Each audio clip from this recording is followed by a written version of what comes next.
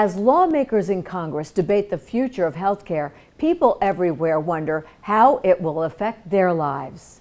This month, Florida Hospital CEO Daryl Tol shared with members of the community his own vision of important changes and innovations that are needed no matter what happens in Washington, D.C. or Tallahassee.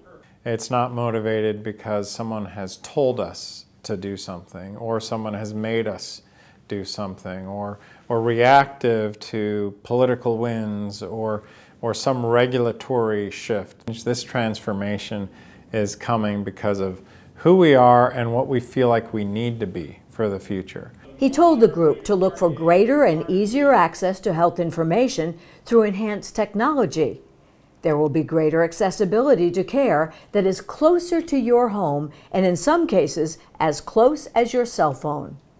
And look for care that focuses on results, not just the number of times you visit the doctor.